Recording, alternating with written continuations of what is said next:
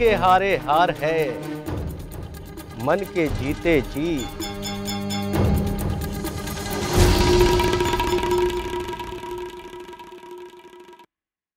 उत्साही का क्या करे? गर्मी, वर्षा, शीत। पंडित जी, किसी समस्या का समाधान उससे लड़ के किया जा सकता है। उससे दूर भाग के नहीं। मैंने आप लोगों को कभी हारते नहीं देखा। लेकिन पता नहीं क्यों आप लोगों में इस बार वो उत्साह नज़र नहीं आ रहा है।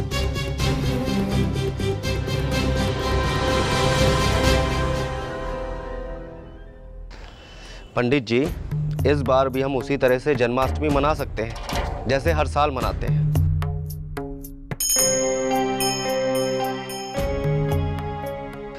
बस ज़रूरत है अपने कमज़ोर होते हुए आत्मविश्वास को मज़बूत करने की। जौन बताओ डॉक्टर बाबू बात तो आपने पते की की है? क्यों ठाकुर साहब? आपका क्या ख्याल है? डॉक्टर साहब आप बैठिए। बात तो डॉक्टर साहब ठीक कह रहे हैं। अच्छा डॉक्टर साहब उत्सव को सफल बनाने के लिए आपके पास कोई योजना मेरा मतलब कोई खाका है क्या? कुछ नया नहीं है ठाकुर साहब। सब कुछ वही पुराना है जो सालों साल से होता आया है। आप लोग मुझे जिस लायक समझते हैं आप मेरी सेवाएँ ले सकते हैं। अरे डॉक्टर बाबू बस आप एक नाटक का जिम्मा अपने ऊपर ले लीजिए। फिर कोई दिक्कत नहीं है। बिल्कुल पंडित जी मैं तो आप लोगों से पहले ही कह चुका हूँ। कि आप लोग मुझे जिस लायक समझते हैं मेरी सेवाएँ ले सकते हैं। नाटक का मंचन सफल हो इसकी ज़िम्मेदारी मैं लेने को तैयार हूँ। वाह डॉक्टर बाबू वाह। बहुत अच्छे। देखा ठाकुर साहब मैं ना कहता था कि कान्हा जी की कृपा हम पर हमेशा है। अब गाँव की इज़्ज़त बच जाएगी। ठाकुर साहब। जॉन बताओ कहाँ का निमंत्रण है भाई? बड़ी हवेली से।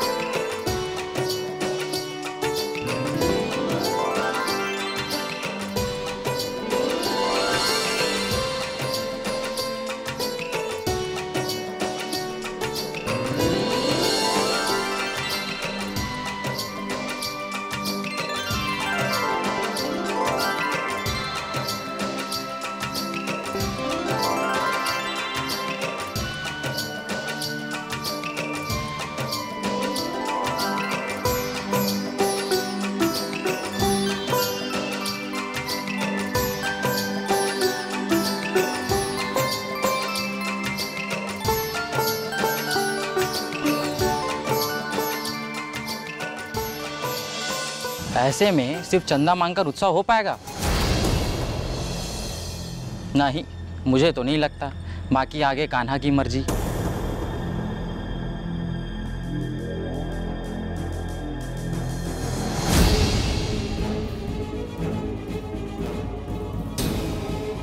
सुन रहे हैं पंडित जी? सुन रहे हैं ना? ये गाँव वाले हमारे बारे में कैसी कैसी बातें कर रहे हैं? इन बेवकूफ़ों को हम पर भरोसा ही नहीं है। लेकिन हम इन्हें भरोसा दिलाकर रहेंगे पंडित जी। अरे दद्दन ठाकुर आप भी जॉन बताओ कहाँ अपनी खोपड़िया खपा रहे हो हैं? जॉन बताओ तंबूरा के चार तार होते हैं लेकिन उन चारों के सुर अलग अलग होते हैं जॉन बताओ आप तो बस इन गाँव जवार के लोगों को जॉन बताओ तंबूरा समझकर शांत रहिए हाँ। पंडित जी ये दद्दन ठाकुर चार गाँवों का प्रधान है प्रधान। कोई भिखमंगा या कबाड़ी नहीं और ये प्रधान जन्माष्टमी उत्सव का सारा खर्च खुद उठा सकता है और उठाएगा भी। तब गाँव वालों को पता चलेगा कि ये दद्दन ठाकुर किसी भी मामले में बड़ी हवेली से कम नहीं।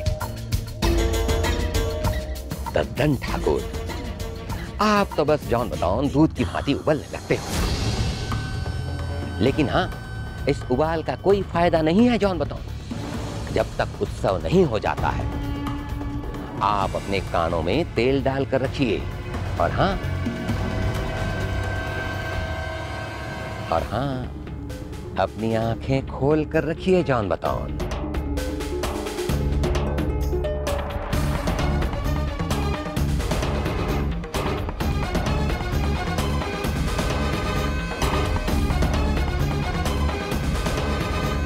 मालकिन दद्दन ठाकुर कुछ ज़्यादा ही उड़ रहे हैं। क्यों? क्या हुआ? नकुल पंडित से बोल रहे थे इस बार जन्माष्टमी उत्सव में दिखा देंगे बड़ी हवेली से कम नहीं।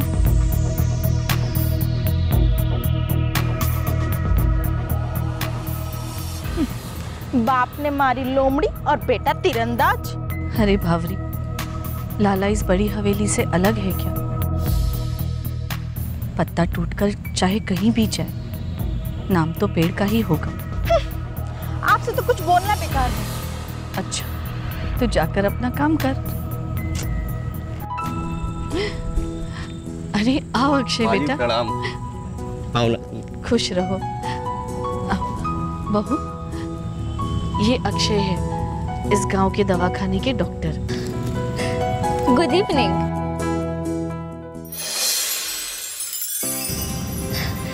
no no नमस्ते नमस्ते नमस्ते. आपको हिंदी बोलते देखकर अच्छा लगा. आपका हिंदुस्तान में स्वागत है. वाओ थैंक यू हिंदी थोड़ा थोड़ा आती है. मैं सीख रही हूँ. अच्छा जी. बहू ये है तो इस गाँव के डॉक्टर पर हमारे लिए एक बेटे समान है। सच कहे तो आज हमारी साँसें इन्हीं की वजह से चल रही है। इट्स गुड बस माँ जी बस। इतनी तारीफ़ करेंगी तो मुझे घमंड हो जाएगा। नहीं बेटा हम अच्छी तरह जानते हैं कि तुम्हें कभी घमंड नहीं होगा। मुन्ना बेटा ये अक्षय है। हाय। अक्षय हाय। माँ मैं अक्षय की तारीफ़ पहले ही सुन चुका हूँ। Thanks Akshay. You are taking care of my mother नहीं नहीं प्रताप बाबू गाँव में हमारी पोस्टिंग हुई इसीलिए है कि हम गाँव वालों की सेवा कर सकें। हाँ।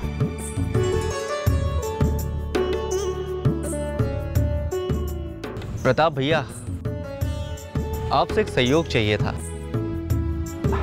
कैसा सहयोग? मैं चाहता हूँ कि इस जन्माष्टमी के नाटक में आप हमें गाइड करें। अरे अक्षय ये सब मेरे बस का नहीं है। कुछ और हो तो बताओ। भैया सहयोग तो आप ही को करना पड़ेगा।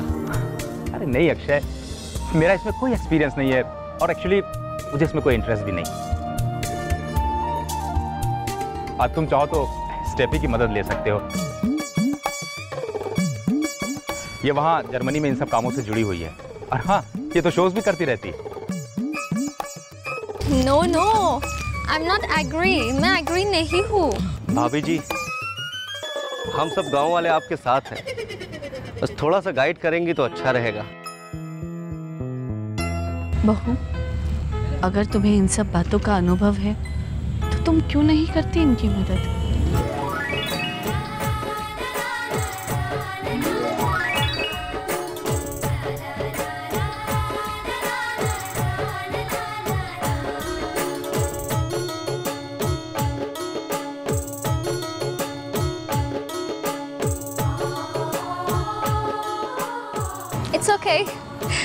आई try. मैं कोशिश करूँगी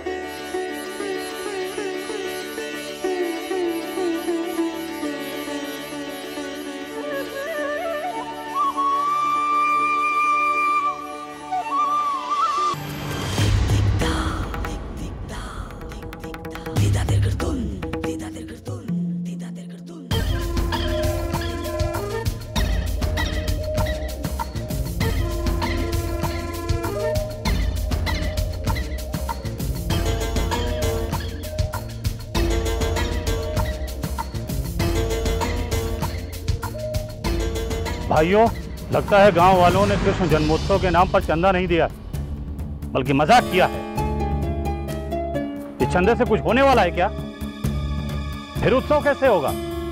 नहीं होगा ना? होगा। उत्सव ज़रूर होगा। लेकिन गाँव वालों के चंदे से नहीं, बल्कि दत्तन ठाकुर के खर्चे से होगा। गाँव वालों को लगता है कि वो चंदा नहीं देंगे तो उत्सव नहीं होगा। जैसे टिटहरी पाँव ऊपर करके सोती है तो उसे लगता है कि उसने आसमान थाम रखा है। वैसे ही गाँव वालों को लगता है कि उत्सव उनके दिए हुए चंदे से होता है, जबकि ये सरासर मूर्खता है। भाइयों, चंदा उन्हें पुण्य का भागी बनाने के लिए लिया जाता है, न कि उत्सव करने के लिए। अब आप लोग गाँव में किसी के भी पास चंदा मांगने नहीं जाएँगे। जी।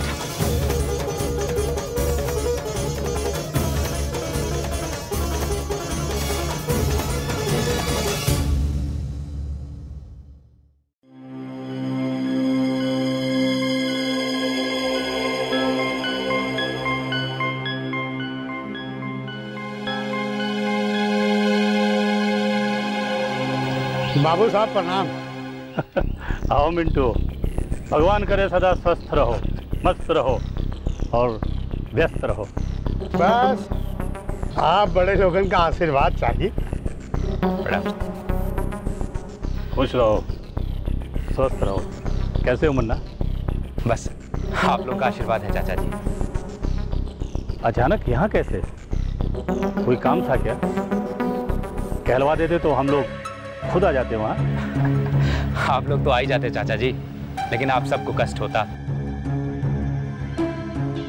तो सोचा, आप सबको कष्ट देने से अच्छा है, मैं खुद ही चला आता हूँ। बातें करना तो कोई तुमसे सीखे मुन्ना। मेरा कहने का मतलब ये था कि इतने दिनों बाद तुम गाँव आए हो तो माई को पता तो चलना चाहिए कि बेटा आया है। वैसे भी जब से तुम यहाँ आए हो, कुछ ना कुछ तो चल ही रहा है। क्यों मिंटू? मैंने गलत कहा क्या? अरे नहीं बाबू साहब आप गलत कह ही नहीं सकते। लेकिन हम लोगों का यहाँ आना ज़रूरी इसलिए हो गया कि बड़ी ठकुराइन ने आपके लिए संदेशा भेजा है। भौजी ने संदेश भेजा? हाँ। चाचा जी माँ की इच्छा है इस साल जन्माष्टमी का उत्सव गाँव के दोनों मंदिरों में मनाया जाए। वो भी उसी धूमधाम से, जैसा दादाजी के ज़माने में धूमधाम से मनाया जाता था। और चाचा जी, माँ का विश्वास है, सिर्फ़ आप ही ये काम कर सकते हैं।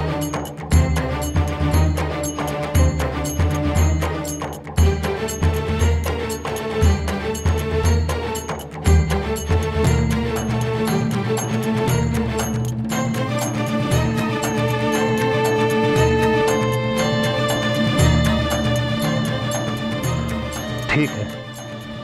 जैसा भौजी का आदेश।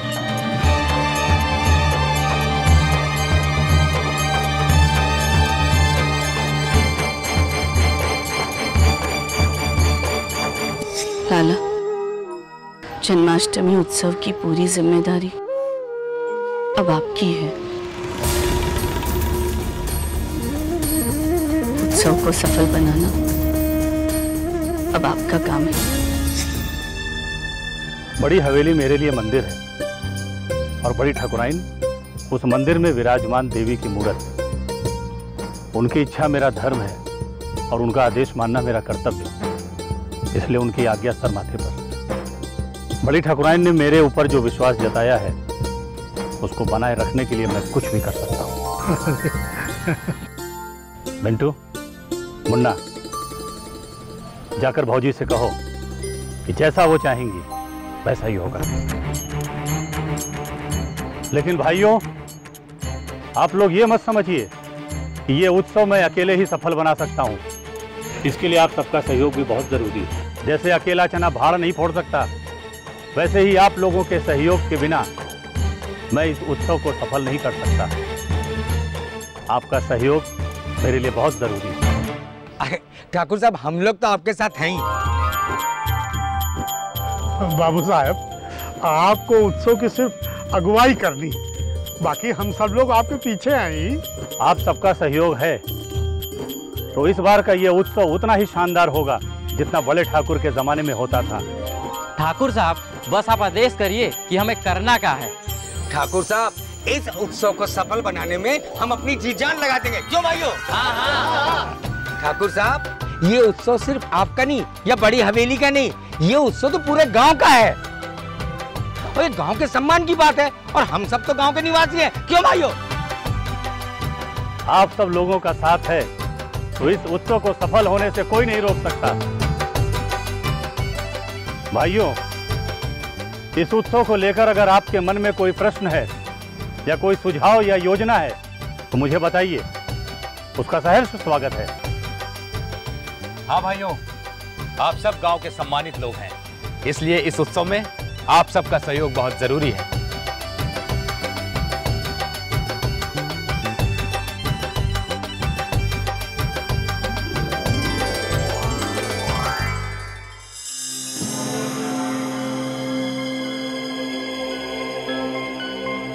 अचानक ददन ठाकुर को क्या हो गया जॉन बताओ।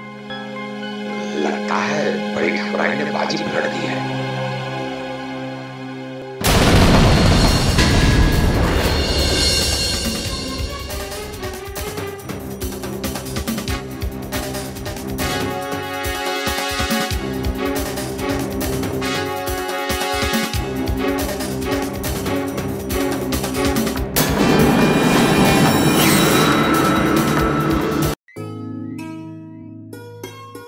हे मदन मुरारी हे मेरे प्रभु।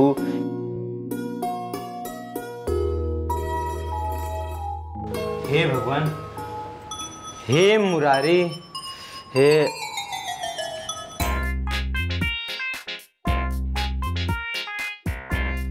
अरे त्रिपुरारी। आप लोग जो संवाद बोल रहे हैं वो सब सही है।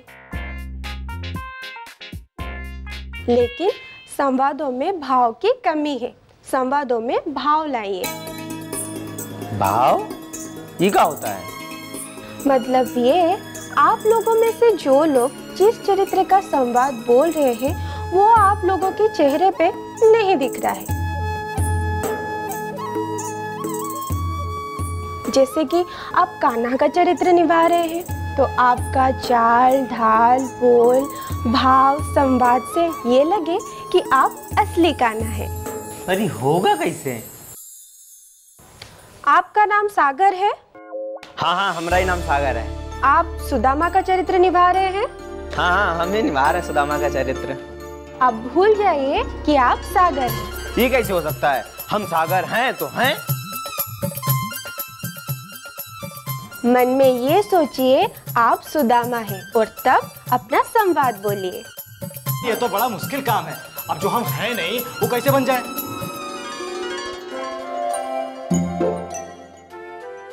हम जो नहीं है, खुद को वही बना देना ही तो अभिनय है। सोचिए, अभिनय में भाव ही नहीं होगा तो नाटक देखने वालों को आनंद ही नहीं आएगा। भाव ज़रूरी है। कोशिश कीजिए, थोड़ा कठिन है, लेकिन असंभव नहीं है। चलिए बोलिए कोशिश कीजिए।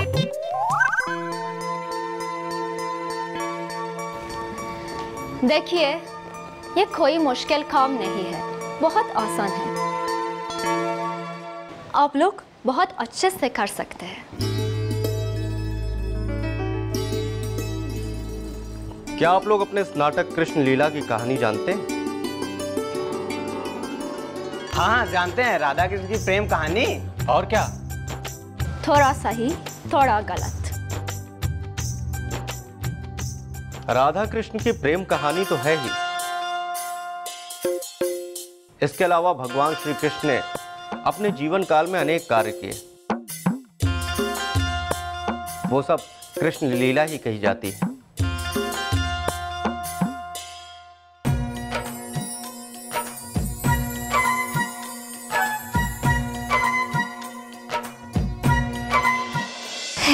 प्राण पल्लव आओ आओ, मेरे पास आओ। मैं तुम्हें पलकों में छुपा लूँ।